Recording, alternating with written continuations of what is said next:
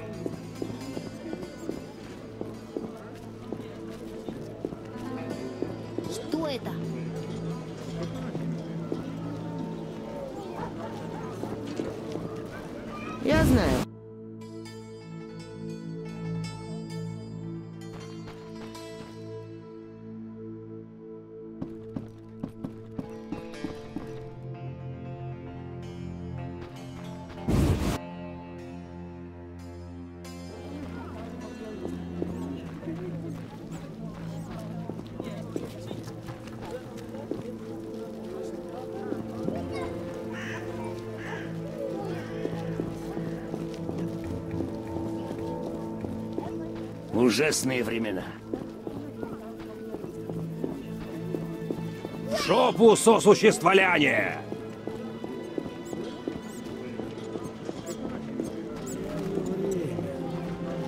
Слышала о новых убийствах. Чем могу помочь? Вот челюсть. Цемитавры. Вкусе. Мощные зубы, да? Позволяют крошить кости. Таким образом они добираются до костного мозга. Костный мозг – самое вкусное для всех трупоедов. 150 аредов за всю челюсть. Честная цена. Чем Интересуешься клыками фледеров? фледеры? Как интересно. Ты знаешь, что у них в клыках есть каналы для высасывания крови? А, ты же ведьмак. Ты должен знать. Вот сто аредов.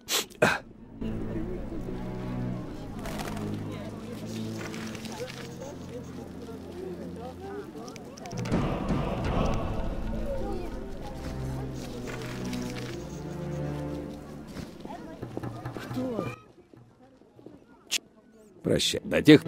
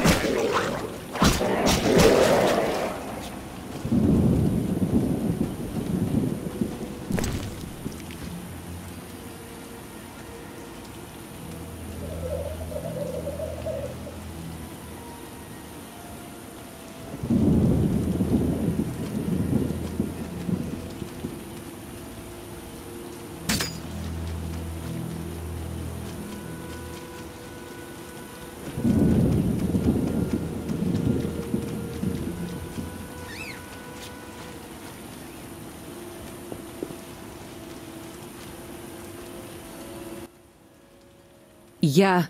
Мне пришлось сюда прийти. Я заняла деньги, мне нужно скрыться. А в чем дело? Вижу что-то серьезное. Я... Я не могу тебе сказать. Слушай, я не буду выпытывать, но вижу, что ты несчастна и напугана. Возможно, я смогу тебе помочь, но только если ты расскажешь мне, в чем дело. Есть один мужчина, важный человек. Для меня он тоже важен. Он болен, и я должна ему помочь, пока еще не слишком поздно. Он оборотень, и я не хочу, чтобы его убили. Не волнуйся, оборотня убить не так легко.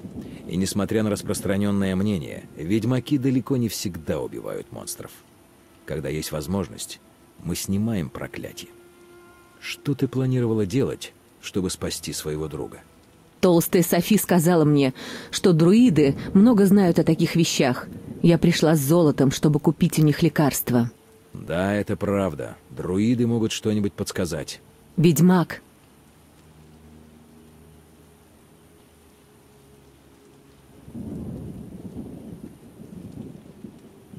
А ты не боишься болотных монстров?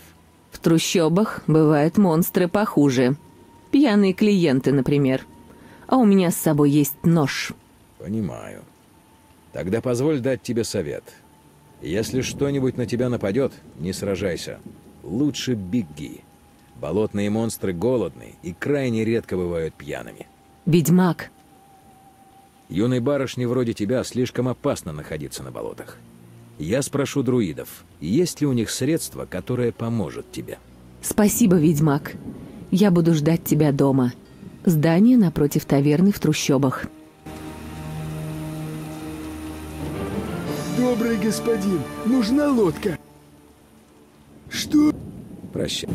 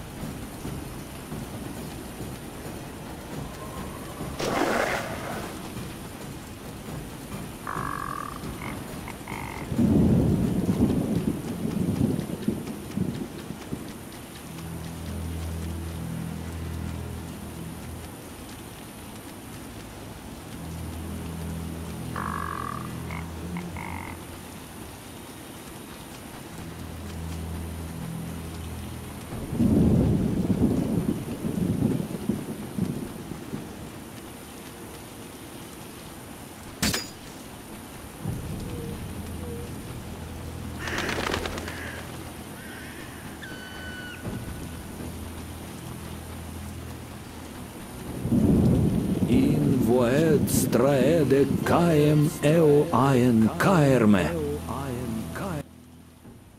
Чего тебе, путник? Прощай.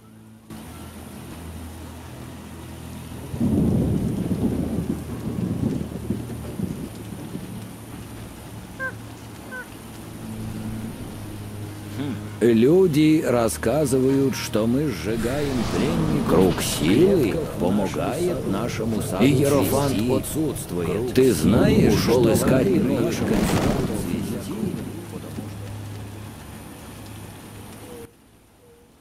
Да, белый волк. Я познакомился с женщиной. Ее зовут Кармен. Ее возлюбленный по ночам превращается в волка. Она хочет спасти его от этого заклятия. Ты ведьмак. Ты должен знать, как справиться с ликантропией, разве нет? Когда-то я, может, и знал, что делать в таких случаях, но теперь я ничего не помню. Конечно. Моя память уже тоже не так остра, как раньше. Я знаю несколько средств от ликантропии, хотя сам я их еще не испытывал. Я думал о магических средствах. Может быть, есть какой-нибудь эликсир. Я не знаю, как приготовить такой эликсир. Тебе стоит спросить опытного алхимика, если появится такая возможность. Но я читал, что в таких случаях может помочь рубашка из собачьей петрушки. Рубашка из собачьей петрушки? Да, была какая-то история про близнецов, которые превратились в лебедей или в уток, я точно не помню. Собери пять листьев собачьей петрушки и скажи мисс Кармен, пусть сошьет из них рубашку. А потом она должна будет заставить своего любимого носить эту рубаху всю ночь. Благодарю за совет. Есть еще народные средства. Глупо, конечно, рассказывать об этом профессионалу, но честность требует, чтобы я это сделал. Говорят, что настоящая любовь может превратить зверя в человека. Настоящая, искренняя любовь. Я запомню это. Запомни одно. Ликантропия – болезнь, которая меняет не только внешний облик человека. Прежде чем пытаться снять такое проклятие, ты должен удостовериться, что в душе оборотень все еще является человеком. Почему? В противном случае он продолжит убивать даже после исцеления и до конца своих дней останется всего лишь чудовищем. Понятно. Я постараюсь выяснить, кем на самом деле является этот оборотень. Да, белый волк? До встречи.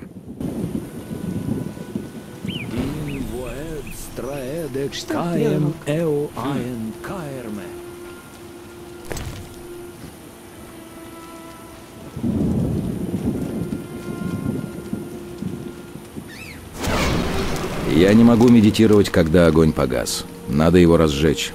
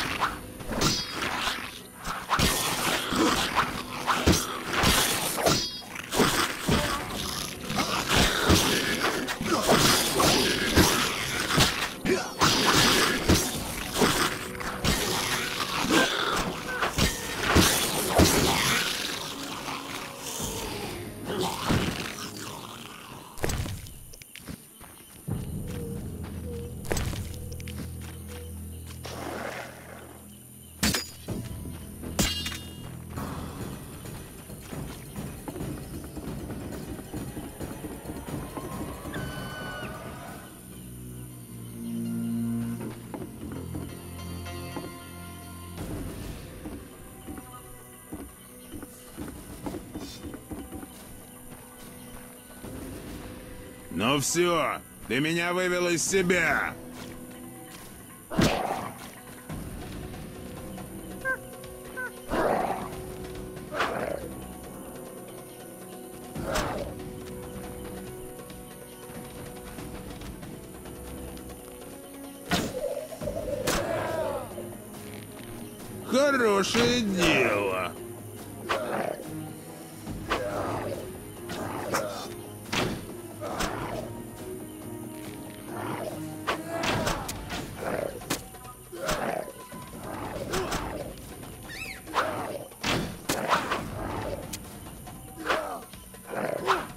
Все, ты меня вывел из себя.